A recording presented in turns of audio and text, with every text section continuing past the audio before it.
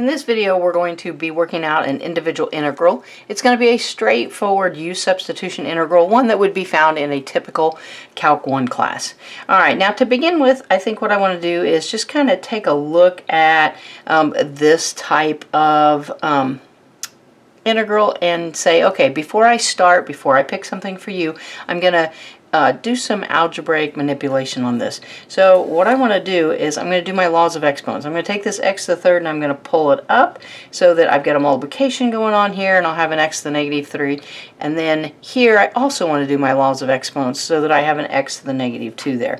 So I'm going to have an e raised to the x to the negative 2 times an x to the negative third dx. Alright, that's going to allow us then to take some derivatives here a little bit easier and um, make the u substitution work really nice. Alright, so I'm going to start by letting my u be this x to the negative 2. Alright, we're going to take a der uh, derivative of both sides here, so we'll have a du is equal to a negative 2x to the negative third dx.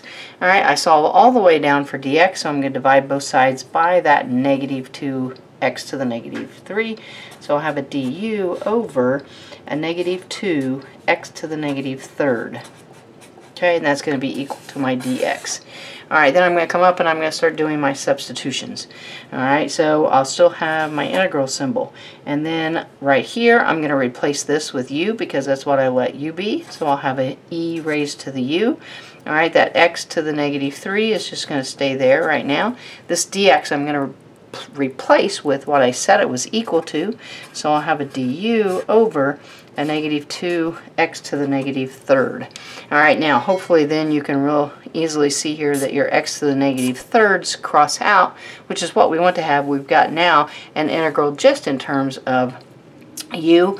Um, there is an imaginary little negative 1 half sitting right there, negative imaginary 1, so negative 1 half that I'm going to pull out in front. So a negative 1 half integral e to the u du.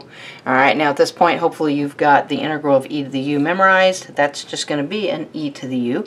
So I'll have a negative 1 half e to the u and then plus c because I have integrated at that point. Last step would be to take u and replace it.